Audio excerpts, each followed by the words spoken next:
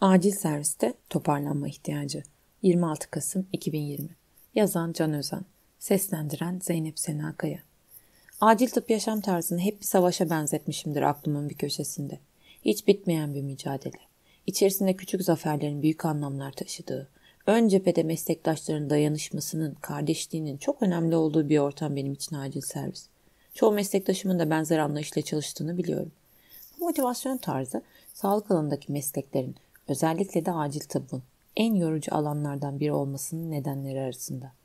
British Medical Journal'da geçtiğimiz ay yayınlanmış bu konudaki bir yazıdan bahsetmek istedim. Çalışma, acil servis doktorların shiftleri arasında kendilerini toparlama gereksinimleri üzerine. Çalışma, daha önce Hollanda'da shift usulü çalışanlar üzerinde yapılmış. Shiftler arasında toparlanma ihtiyacını araştıran bir skordan ilham alınarak planlanmış. Çeşitli meslek gruplarıyla karşılaştırıldığında acil servis çalışanlarında bu skor neredeyse iki kat fazla gözlenmiş. Bu sonuçlar acil servis koşulları açısından düşündürücü.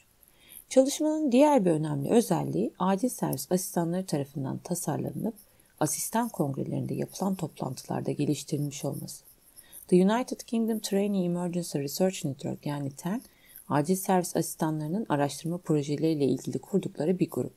Sen Ambulance blogda yayınlanmış Yazıdaki linkteki bağlantıdan ulaşabileceğiniz proje ile ilgili bilgiye daha ayrıntılı ulaşabilirsiniz. Acil tıp derneklerinin projelerine de ilham olabilir belki. Çalışmanın orijinal adı Need for Recovery Amongst Emergency Physicians in the United Kingdom and Ireland, A Cross-Sectional Survey. Makaleyi kısaca özetleyelim. Birleşik Krallık ve İrlanda'da acil servis doktorlarının nöbetten sonra toparlanma ihtiyaçları. Kesitsel çalışma. Giriş. Acil sağlık hizmetlerinde uzun süreli hizmet verilebilmeleri için çalışanların iyilik hallerinin öneminin altını çiziliyor. İşten tatmin olamama, yüksek stres altında uzun süre çalışma gibi faktörlerin uzun vadede çalışanların kendi sağlıklarının etkilenmesine, dolayısıyla mesleklerine devam edememelerine yol açacağı söyleniyor. Acil servise toparlanma ihtiyacı skalası orijinal makalede Need for Recovery Scale olarak geçiyor. Yine seslendirmede TIS olarak kısaltacağım kişinin bir çalışma günü ardından mental ve fiziksel olarak normale dönme ihtiyacını ölçüyor. Toparlanma ihtiyacı yani T subjektif olarak bir anket yardımıyla değerlendiriliyor. Burada ölçülen toparlanana kadar geçmesi gereken süre değil, toparlanmaya ne kadar ihtiyaç olduğu. Bu skala vasıtasıyla vardiya usulü çalışan personelde tükenmişliğin yani burnout'un erken belirtilerinin fark edilmesi amaçlanıyor. Acil serviste vardiyalar önceden öngörülemez şekilde çok yoğun geçebiliyor ve buna acil servis kalabalığı, kaynak azlığı ve hasta volümünün kontrol edilemeyişi gibi faktörler etkilenince T bu durumlardan negatif etkileniyor. Vardiya aralarında yorgunluk ve tükenmişlik hisleri tamamen geçmezse kümülatif olarak etki gösteriyorlar ve kişilerde iş yaşamına dair stres kaynağı olup zihinsel sağlığı uzun dönemde kötü yönde etkileyebiliyorlar. Tükenmişlik kavramı son yıllarda giderek artan bir şekilde doktorların iyilik hallerini değerlendirmek için kullanılıyor.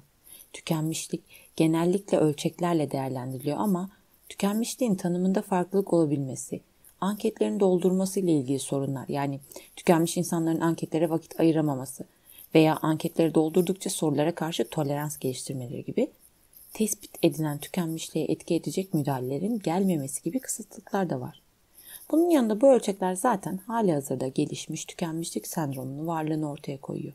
Bu aşamada zaten çalışan tükenmişliğin etkilerini iş ve özel hayatına yansıtıyor. Bir nevi iş işten geçmişken tükenmişliği tanımış oluyoruz. Asıl zor olan iş tükenmişlik riski olan klinisyenlerin tanımlanması ve onlara erken müdahale edilmesi. Önceki çalışmalar tisteki artışın iş yaşamında tükenmişliğe ve sağlık sıkıntılara yol açtığını ve etkilerin kümülatif olarak arttığını göstermiş.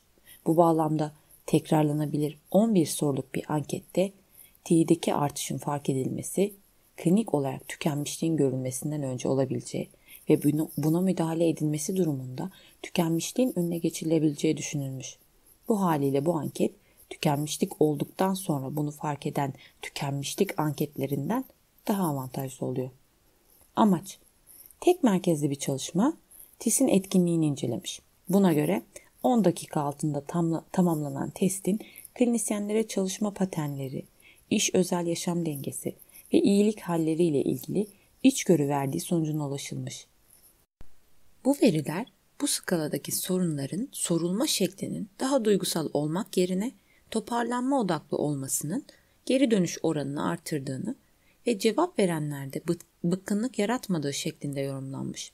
Bu haliyle sık tekrarlanarak çalışanların iyilik hali hakkında bilgi verilebileceği ve erken müdahaleye olanak sağlayabileceği düşünülmüş. Çalışmada T'yi Birleşik Krallık ve İrlanda'da belirleyip klinisyenlerin tükenmişliklerine daha erken müdahale imkanı yakalamak ve yüksek T ile ilişkili demografi ve iş yeri özelliklerini tanımlamak amaçlanmış. Metot Birleşik Krallık İrlanda'da yarısından fazlasının 24 saat acil tıp uzmanı tarafından yönetildiği 100 acil servisteki acil servis doktorları üzerinde araştırma planlanmış. Hollanda iş yeri tecrübesi ve değerlendirmesi anketinden hareketle toplam 11 adet dikotom evet hayır cevaplı soru içeren TIS hazırlanmış. Buna göre motivasyon kaybı, gün sonundaki konsantrasyon gibi durumların ölçüldüğü sorulara dördüncü soru için hayır, diğer sorular içinse evet cevabı verilmesi kötü cevap olarak tanımlanmış. Buna göre kötü cevapların toplamı 100 ile çarpılarak 11 olan soru sayısına bölünmüş.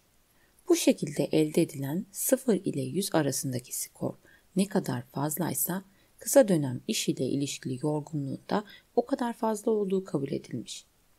Araştırmada Likert skalası ile değerlendirme isteyen soruların ve anketlerin uzunluğunun acil servis doktoru kafa yapısına uymadığı düşünülmüş. 2018 yılında yapılan bir asistan kongresinde alınan kararla anket 11 soruya indirilmiş. Anket elektronik olarak Haziran-Temmuz 2019 tarihleri arasında katılımcılar tarafından doldurulmuş. Ankette katılanların çalıştıkları hastane, yaş aralıkları gibi bilgilerin detaylı sorgulandığı demografik soruların ardından cevabı evet ya da hayır olarak seçilebilen şu 11 soru yer alıyor. Bir iş günü sonrasında rahatlamakta zorluk çekerim. İş günü bitince gerçekten tükenmiş hissederim. İşimden dolayı gün sonunda çok yorgun olurum. Gün içinde ara verdikten sonra tazelenmiş şekilde işime geri dönerim. Genel olarak üst üste çalışmadığım ikinci günde rahatlamış hissederim. İşten sonra boş vaktimde konsantrasyon sorunu çekerim. İşten eve geldiğimde diğer insanlara ilgi göstermeyi zor bulurum. İşten sonra kendime gelmem bir saati bulur. Eve geldiğimde bir süre kendi halime bırakılmalıyım. Sıklıkla gün sonunda o kadar yorgun olurum ki başka aktivitelere katılamam. Çalışma günümün son bölümünde yorgunluk hissi işimi normal olarak yapmamı önler. Siz de kendi toparlanma ihtiyacı skorunuzu hesaplayabilirsiniz. Dördüncü soru için hayır, diğer sorular için evet seçeneklerinizi toplayın. Toplamı 100 ile çarpın ve sonucu 11'e bölün. Benim skorum 63.6 çıktı. Sonuçlar Çevrim içi yapılan anketi 5107 farklı kullanıcı doldurmuş. Bunlar arasında 4365 kişi çalışmaya kayıtlı 112 merkezden birinden çalışıyormuş. Bu kişilerden 4237 tanesi en az 8 soruya yanıt vermiş. Katılımcıların %7,5'u 50 yaş üzeriyken çoğunluk 26 ila 30 yaş aralığındaymış. TİS'in yaşla birlikte azaldığı gözlenmiş. 20 ila 35 yaş aralığında ortanca skor 72.7, 36 ila 55 yaş aralığında 63.6, 55 yaş üzerinde ise 54.5 olduğu görülmüş. Kadınların ortalama tisi 72.6 iken erkeklerinki 63.6'ymış. Uzman olarak çalışanların ortanca skoru olan 54.5 diğer katılımcılara oranla anlamlı derecede düşük bulunmuş. Kronik sağlık sorunu olan katılımcılar ki bunlar tüm katılımcıların %11.4'ü, kronik sağlık sorunu olmayanlara göre daha düşük bir ortanca skora sahip olarak gözlenmiş. İlginç bir not olarak tam zamanlı çalışanlar ile tam zamanın altında çalışanlar arasında skorda anlamlı fark görülmemiş. İngiltere sağlık sisteminde aylık çalışma sürenizin belli bir kısmını çalışıp maaşınızın aynı oranını alabiliyorsunuz. Mesela %60 kontratla haftanın 5 yerine 3 günü çalışıp maaşın %60'ını almak mümkün. Araştırmacıların bulunduğu başka bir sonuca göre istedikleri zaman izin alabilecekleri katılımcıların TIS ortanca değeri 81.8 iken Da sınav gibi aktiviteler için istedikleri gibi izin alamayacaklarınki 54.5. İstedikleri gibi yılın, yıllık izin alamayacaklarınki 60 olarak ölçülmüş. Hafta içi gündüz çalışma saatleri dışında çalışılan süre arttıkça TIS'te de artma gözlenmiş. Yalnızca çocuk hasta bakılan acillerde çalışanlar, erişkin acilde çalışanlardan daha düşük ortanca skoruna sahip bulunmuş. Her iki hafta sonundan birinde çalışanların skoru 72.7 iken hafta sonu hiç çalışmayanların skoru 54.5 olarak gözlenmiş. Ard arda 5 ila 8 shift arasında çalışanlarla 5 shiftten az çalışanlar arasında benzer şekilde fark gözlenmiş. Yani 72.7'ye karşın 63.6. Tüm verilerin arasında yapılan regresyon analizi sonucunda cinsiyet, sağlık sorunu varlığı, acil servis tipi yani erişkin veya çocuk, çalışılan seviye, izin alma imkanı ve normal mesai saati dışında çalışma miktarı istatistiksel olarak anlamlı olarak T skorunu etkileyen faktörler olarak belirlenmiş. T'si azaltan faktörler erkek cinsiyet, kronik sağlık sorunu olmaması, yalnızca çocuk acilde çalışmak, artan kıdem, istediği zaman izin alabilmek, mesai saatleri içinde çalışmak. Çalışmaya göre erkek, uzman ve üzeri seviyede istediği zaman izin alabilen, kronik sağlık sorunu olmayan katılımcıların TIS'i en düşük seviyedeymiş. En yüksek seviyede skorları ise çalışma saatinin büyük kısmı mesai saati dışında olan çalışanlarda görülmüş. İstedikleri zaman izin alabilen katılımcılarda TIS ortalama 6.5 puan düşük bulunmuş. Tartışma İngiltere ve İrlanda'daki sonuçlar çalışmanın yapıldığı diğer popülasyonlara oranla daha yüksek gözlenmiş. İzin alma özgürlüğünün ve mesai saati dışı çalışma oranının en etkili değiştirilebilecek faktörler olduğu görülmüş. TİS'i azaltan değiştirilmeyecek en etkili birkaç faktör de sırasıyla şu şekilde. Erkek cinsiyet, kıdem artışı, kronik sağlık sorunu olmaması ve yalnızca çocuk acilde çalışmak. Birleşik Krallık'ta TIS ortanca değeri 81.8 ve bu değer başka popülasyonlara kıyasla oldukça fazla. Bu durum üzerinde en etkili olan faktörün acil servis kalabalığı olduğu speküle ediliyor.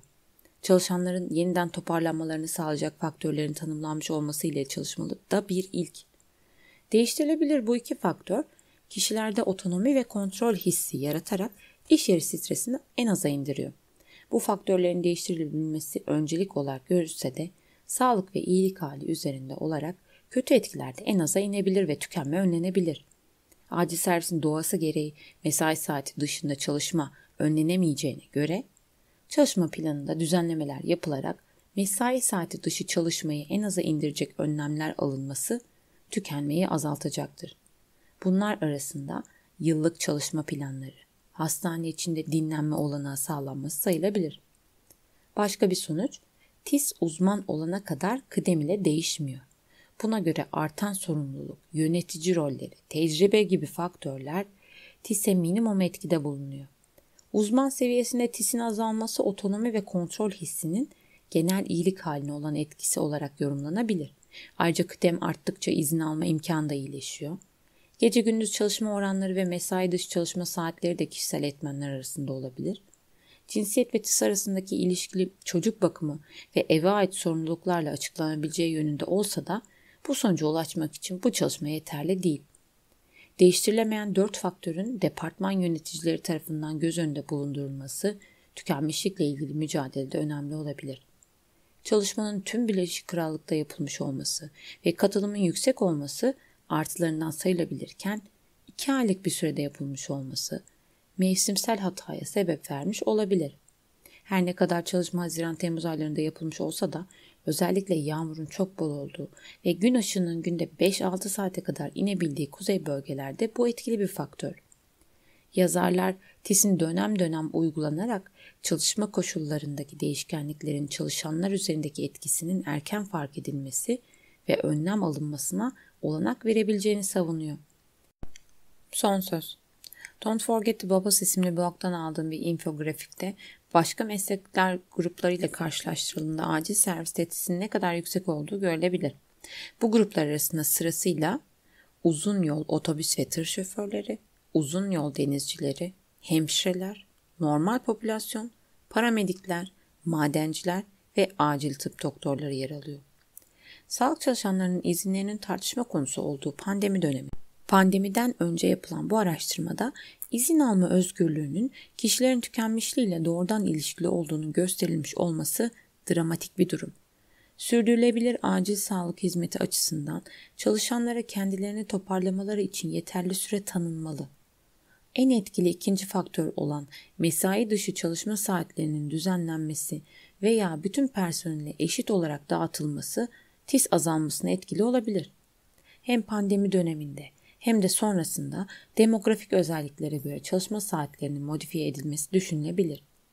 Mutlu bir çalışma ortamı herkesin hakkı.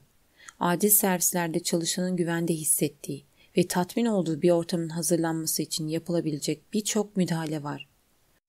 Bunların başında organizasyonel çözümler geliyor. Dinlediğiniz için teşekkürler.